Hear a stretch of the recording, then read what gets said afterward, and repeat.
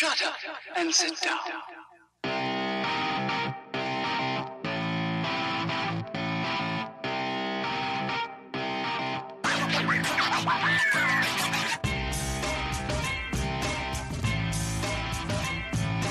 Welcome to the Bricks King podcast, where I'm going to bend your ear about Lego, review those amazing bricks and plastic, and discuss what is new and up and coming around the Lego world.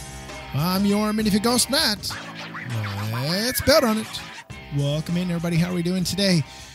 I have been waiting to share this amazing greatness with you for what seems like forever. It's not been forever, but it's been many, many, many weeks in the making. My God, we are finally here. The rumors are true. The hype is true. Everything is real. And if you don't believe me, maybe Peter Cullen can tell you otherwise. It's been an honor serving with you all. Autobots, roll out! We roll. Anyway, we are talking about Autobots. We are talking about the one, the only Optimus Prime. Oh my God, it's incredible.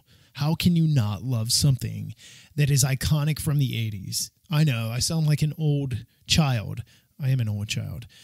But how can you not love something that is so incredibly iconic from a generation, from a decade, from a, a standpoint of cartoon theater? How can you not enjoy, how can you not appreciate something as great as this? And then the Lego model, the Lego model itself. I didn't We'll get into that story in a little bit, but my God, it's incredible. So obviously, Optimus Prime. 10302 is its set number. It is coming available June 1st. This thing is going to be out of stock almost immediately. I guarantee it. It's going to go on back order. It's going to then then you'll get your stock. You'll be able to place your order if it's on back order, right? Then it's going to go out of stock and it's going to come in, out, in, out, in, out. I, I'm guessing this, that's what's going to happen with this thing throughout the year, throughout the end of the year. I'm telling you right now, if you want it, you better you better get in the queue. You better get in the queue to order it when it comes out J1 2022 because everybody's going to want it. Now, with that in mind, this thing has 1508 pieces, which honestly I thought that's actually not that bad. Now, the parts usage in this is incredible. In you take that 1500 pieces and for this thing being what i think it's 13 inches tall that's pretty darn incredible. It's pretty good. Now i don't have the exact specifications in front of me as far as price and stuff like that because lego did not release that yet. That has to do with their ip partner in uh, what hasbro. I'm assuming hasbro. Either way this is the supposed to be like a replica of the Optimus Prime from the original cartoon series. Now, there's a cartoon series out on Netflix right now. I can't quite remember if Optimus is similar or the same, although it is pretty pretty close, I'm pretty sure. But the retail the the suggested price, the the estimate that I have seen kicked around is going to be about 170 USD. So you're talking about 170 bucks, 169.99. Not too bad considering what you're getting. And I will tell you this. This is probably going to be the best 170 you spend. Tax is obviously not included in that, but this is going to be the best 170 that you spend probably this year on a toy. On a toy. I'll I'll, I'll put it at that. I'll, I'll put that caveat on there. On a toy. But my God, this has everything. Now, it does have stickers but it does have some prints that come along with it. Now, what you are getting, you're getting a big display toy, you're getting something that you can put on a shelf, and it does transform. And it transforms similar to the original toy back in the 80s. You don't have to remove pieces and you, do all this fancy, I got to take this off and I got to move it over here. No, no, no, no, no, no. Lego designers and the senior designer, I should say, went above and beyond. So Joseph Patrick Kyde, I'm hoping I say that right. They went above and beyond. Now you get Optimus, you get his blaster, and you get some other things that we'll talk about here um, in, in a little bit. But my God, it is so exceptionally amazing. He can go from vehicle mode back to Autobot, you know, standing tall guy to back and forth, and it takes no time at all. It took me what it, I think the first time, the very first time that I did it, it was under a minute. It was closer to like 45 seconds. I don't remember exactly what it was, but I had timed myself because I was like, okay, is this is this going to be like a five minute process? Because it's a few steps. It's not a lot, but you wonder sometimes, like, okay, if I'm transforming this, how bad of how, how difficult is this going to really be? And it's really not that all. So let's go ahead and talk about what it is from the main build, and then we'll talk about what it looks like after it is transformed. So we're getting Optimus Prime in his two legged form where he is upright, he's got his weapons, and we'll talk about all his goodies that he has as well. But the incredible thing about it is, well, this isn't, I would not call this a swooshable model. Um, this is definitely something you don't want to let a child get a hold of because things can pop off. I wouldn't say they will pop off, um, but there are definitely some things, especially down on the on the feet, um, around the toe area where you have your um, your little hinge joint here for your um, your foot going into the ankle area. That is a little bit funky because there are pieces there that if you move press a little bit too hard or whatever they can pop off i've had them pop off multiple times easy to get back on but yeah I digress. So what we have here, you have your Optimus Prime. You have a beautifully brick built head that can rotate 360 degrees. One thing that I'm a little sad about is on the backside, you do see some anti studs there. Not a big deal. Uh, he does have a a plate that is used and it has a printed eyes that are on the side. Um, they use uh, some interesting pieces here to uh, just accomplish everything that is going on here. His head tilts forward, does not tilt back pretty much at all. It's pretty much locked into place. Same with side to side. He does have his upright, I'm going to call them ears. He does have those uprights there and they look, uh, his head looks like the exact toy. Absolutely. And, uh, yeah, so it does rotate forward. And the, the funny thing is, because this does transform, his head can flip around completely all the way around and rotate upwards into his body, which is kind of funky in its own right, but it is possible um, because when you go into the transform mode, you've obviously got to be able to do it, right? You've got to be able to accomplish this transformation, and the only way to do it is to get his head out of the way so that you can turn him back into the truck uh, or lorry that he is. So that does flip backwards, but what you have up top, you have the blue, the darker blue of his head, and then you have some metallic that is in here as well for his. Uh, his little shield that goes across his mouth because we never see his mouth. And then as you get down below his neck area, what you have is a plethora of red, but my God, we get four by four modified tiles that have four studs on them that have the Autobot print in white on the red background. It's incredible. I love it. It's so cool. I absolutely adore these pieces. And you get a few of them and it's it's something you cannot live without. I'm telling you now, if you were to die tomorrow and you don't have these pieces in your inventory for whatever reason you want to use them, you're going to be super duper sad. But those are on his arms. I guess you could call them where his biceps are. So the arms do fully swing around their own clicky joints here, 360 degrees rotation. They do uh, fold out to a certain degree, but then you also have, you know, Lego pieces that get in the way. So it only goes so far. He does have a hinge joint here, another clicky joint here for his elbow. Um, it does go at a 90 degree and then it goes down just beyond 180 degree. So maybe 190. As we move forward, his forearms are actually really nice. They do have another print here on a two by two tile that has a yellow forward arrow. It kind of reminds me of like um, Beyond the Brick, kind of with their logo. It's a little funky. Anyway, so his hands, his hands rotate 360 degrees because they are pinned in, but they are also clicky joint as well because when you go to you know change this thing up and turn him into a truck you've got to be able to move those but here's the thing they only move in the clicky joint way when the uh, fingertips are pointed towards the ground and the back end of the hand is facing towards the sky. Uh, it's just the way that it is built up in there. Anyway, moving forward, the thumb is opposable. It can move up and down, fingers in and out. Not a big deal. Um, you can give him punching pose. You definitely, obviously, need it when we're talking about using his weaponry and stuff like that. But yeah, I uh, I love it because you can close in on his weapon that he's using, his little blaster that he's using. I love it. Now, moving inward, we're going to move into the inside body. Well, I guess before we do that, uh, the arms are really built up well. They are very blocky, just like in the toy, just like in the cartoon. So that is nice. Now, I will say this Lego did think about things like what do we what is it going to look like from behind because the mid section without his jetpack looks horrible on the inside there are two clips to receive uh, two little bars to receive clips in here so that that covers up the main part of the body. Now, the other thing is you do see some anti studs that are on the back side of what would be the biceps and things like that, but that's not a big deal. No one is going to do a 360 when they're at your home or whatever. They may pick it up and look at it, but they're that is the last thing their eyes are going to go to or ever focus on, if ever.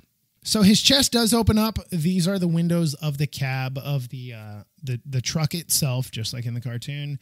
Um, it opens up. This is the um, oh my goodness.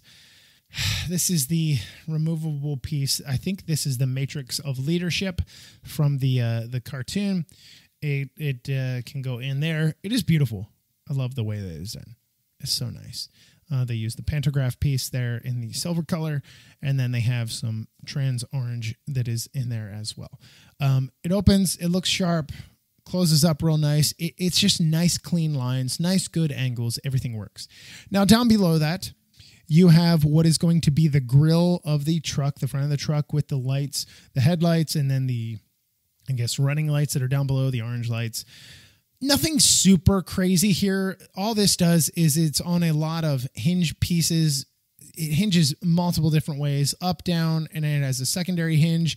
And then you have the red pieces that have the headlights on, and then below that you have the light bluish gray uh, pieces that have the orange lights on. Those are essentially just to cover up his torso.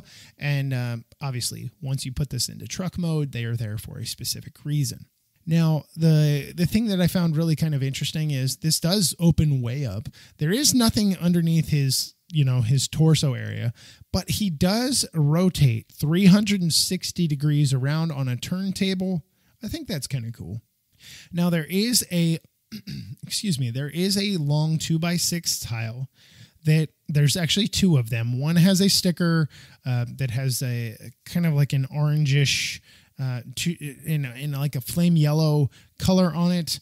Uh, that is supposed to be part of him when he is in his Optimus Prime mode. It's almost like a belt buckle. And then there is another one which is supposed to be like in the front end of the bumper, another sticker as well, and another two by six. So when you put him into Transformer, or I'm sorry, from Transformer mode into truck mode, you take the one belt buckle type piece off and you put the other one on. Now, before we move to the legs, he does have two wheels that are up here at the top of his thighs, at his hip joints on the exterior here. And those are simply, obviously, his front wheels as we get into, you know, turning him back into a truck or taking him from a truck, whatever. Looks really nice. I like the way those are done. And the legs are super duper bulky. They are very solid. They are very thick builds, some interesting build techniques. I will tell you that. I'm, I'm going to save it for you because I think you guys will get more enjoyment out of it than me saying, well, this is what they did or that is what they did. Um, they're thick builds. And in part of the build, I will say this much you do have uh, two bars that go into um, clips. And what those are simply there for is when you put it into truck mode, obviously you don't want your legs splaying out, you want them in line so your truck doesn't look completely wonky in the back end. But before we get down even that far, um, the upper thigh, you do again have these beautiful two by six plates. Um, they have stickers on them, not not anything crazy wild, but his kind of his um, what are supposed to be, I guess, like his gas tanks that are on the side of his thighs, around if there was a knee joint, it would be just above the knee joint, I would imagine these are nice. These are painted um, silver pieces here. I do like these. Um, they're just tiny assemblies. They do rotate, uh, but they only rotate um, 90 degrees. Nothing big deal. I, I, actually don't think you rotate them at all. Um, it's just the way that they're uh, they're they're attached to that assembly. But then moving down, we go from the light bluish gray into that dark blue, which everybody absolutely loves. We do get a printed piece on all of the tiles, or all no, it's tiles on a on a rounded tile that does receive a um, an axle uh, an axle piece. Um, they are on the tire. They're supposed to be like the wheel assembly hubcap. Obviously, it's not a hubcap, but you get my point here it's to cover up the ugly side of the uh, inside of what where the wheel would be. So just make it more even transformery, trucky, um, as it should be. But the legs are super duper thick. As I said, his well, maybe I didn't say. So his his joints for his legs, um, his hips can be splayed way out. You can put this dude in a almost a full straddle, which is kind of weird to me uh, for something of this size, and it'll actually hold which is even more bizarre to to me, believe it or not. Anyway, uh, the legs can rotate around at the knee joint. They can 360 degree if you really wanted to do it that way and do some weird uh, I don't even know what you would call it, some exorcist stuff or something like that. Anyway, so they can. Uh, there is no knee joint, though. Obviously, you guys should have known that. Being as big of a model as this is, being as big of a set as this is, there's not going to be a knee joint because all that does is create issues. Even if it is the most solid Lego piece that is out there, eventually it is going to wear and tear and it's not going to be able to hold the weight. And then you end up having a busted model that doesn't look very good. Now, what they do use is they use the one by two cheese wedge pieces here. They give you some texture in silver painted silver in the front um, as you go down his shin, and then they use them in blue for his uh, for his feet. The the the top end of if he was wearing a shoe, it would be the tongue of the shoe. They use three of them three of them there, one by two uh, cheese wedge pieces, which are nice. I like the way those are done. Now, I've got to say this: um, what you have here as far as display. You're you're pretty much going to have his legs together no matter what. Okay. Just just realize that is the case. If you're if you're a toy collector, you're a comic book fan, you're a cartoon fan, whatever, you're a Lego fan, you're more than likely going to display him where his legs are pretty much straight down. I, I and there's really no other way to do it. Now they can uh, rotate out, um, but rotating them, uh, I'm sorry, they can rotate out at the hip and they can go forward and backward, but you're never I don't think you're ever really going to get him into a like a a, a true solid walking or running pose. I've tried. It doesn't work. It ends up coming out really stupid looking and then things break and it just turns into just giant chaos. So my recommendation to you is build it, set it, and forget it. All right. Well, with that in mind, so you have this gorgeous model. I mean, it's a few inches wide, it's many inches tall, centimeters, millimeters. On the backside, which I did not talk about yet, on the backside, it actually doesn't look that bad. How many times have people criticized Lego models and they said, "Oh well, it, there's anti-studs on the back and it looks so ugly and it, I just I don't like it. It's so silly looking. How can you do such a thing?" that clearly isn't the way that I talk about things. But with that in mind, Lego actually did some tiling using some slope pieces, using some tiling pieces uh, for the legs on the backside, blue, light, uh, light bluish gray. And then up top, like I said, without this rocket pack, this jet pack, you would have this weird kind of experience that is going on in here and they did it. They handled it. It works. Um, it clips in. There's two clips that it locks into, and it's beautiful. It's nicely done. You have another Autobot print on one of those uh, modified tile pieces there that have the four studs on it. It's beautifully done. It is a focal point when you turn it around, and you really don't pay attention to any other anti studs. Maybe, maybe on the back side of the arms you do, but here's the thing: if you turn so I'm talking about the shoulder joint now. If if as a human, okay, because you're not a dog or, or or, or a cow or a chicken, if you take your shoulders and you kind of roll them back to where your arms move kind of towards the rear, your elbows kind of move outward, right? But your arms also move outward if you kept them in a static position. That is what you can do here to help alleviate that. But then at the elbow joint, instead of moving it up and down, you can also move it in and out. So that also helps to, you know, get rid of kind of that weird looking feel, that design, that negative stuff. Now, if you're keeping his arms in close, you know, your elbows are hugging your rib cages, well, of course you're going to see that stupid stuff on the backside, right? But let's not focus on that. The point is, you have a gorgeous model. You can pose it however you want, and it's incredible. The smokestack sticking out of the top of his bicep. Hello. How many dudes at the gym are like, hey, bro, you see what I got going on here?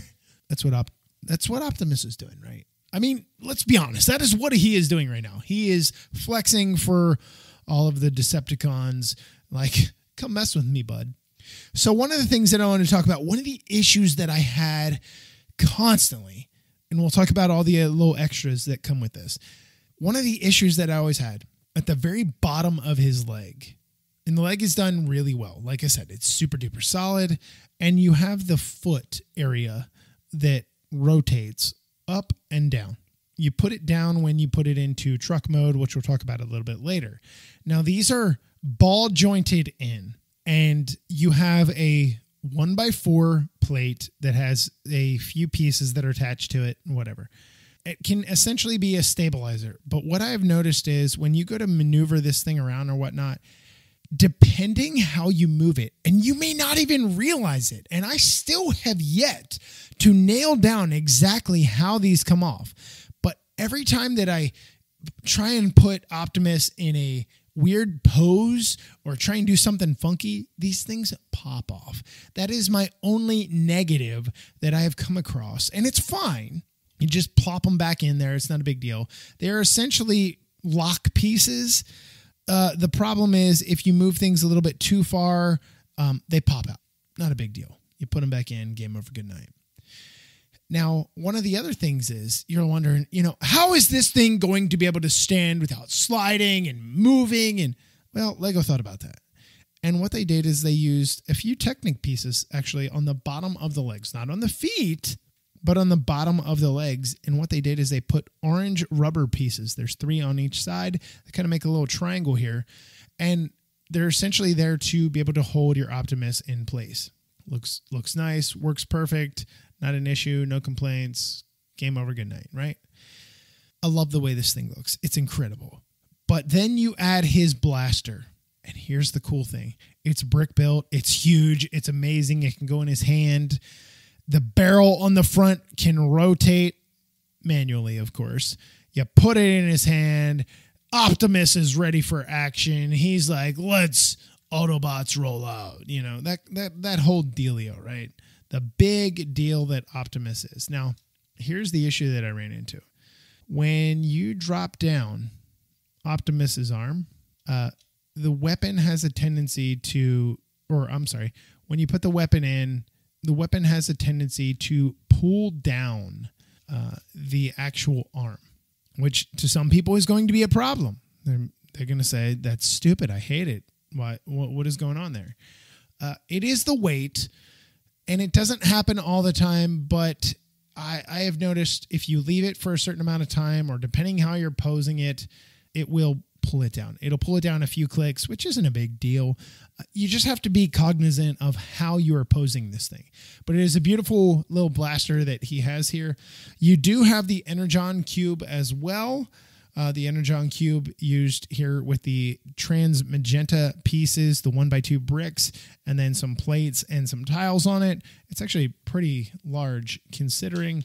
I actually like the way that is done. It was something that I, you know, being a Star Wars fan, yes, but seeing this was really, really neat. You get his Energon axe as well.